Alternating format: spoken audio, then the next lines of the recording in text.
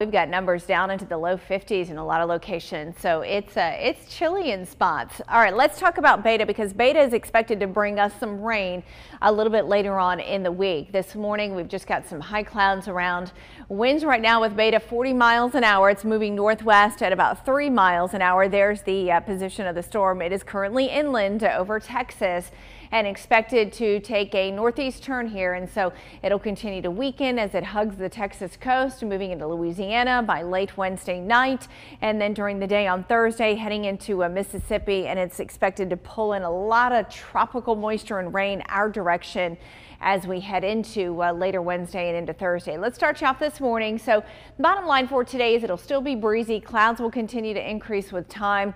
You'll notice tomorrow morning there may be a few spotty showers around to start the day. I think a couple more in the afternoon, but the bulk of the rain expected to really move in as we head into uh, notice sort of about 9 o'clock here on Wednesday night, and you can start to see some of that heavier rain moving into central Alabama. Rain likely Wednesday into Thursday. Notice we're at 9 a.m. on Thursday morning, and then that heavier rain expected to continue through a good portion of the day on Thursday, maybe tapering off a little bit as we head into Friday too.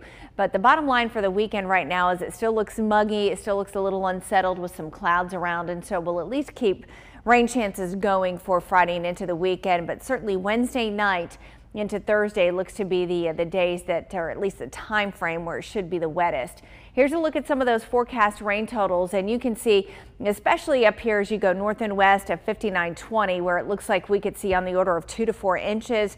That could cause some areal flooding maybe in spots, uh, maybe even some flash flooding as well. And so we'll have to keep an eye on that for that good maybe 36 to 48 hour period. So rain chances climbing tomorrow. We'll go with about a 40% chance, but really coming up by Wednesday night and into Thursday especially. We've made Thursday an impact day as it really looks like that day will be when we get some of the heaviest rain. Look at these numbers down to 50 in Gadsden, 53 in Anniston at this hour. Clouds will increase today, breezy with mid 70s expected, and then some showers arriving tomorrow. Impact today on Thursday with heavy rain at times, and then the chance for at least some scattered showers and remaining muggy through the weekend. Back to you. All right, so 520 and a half on your Tuesday morning. Things are looking good.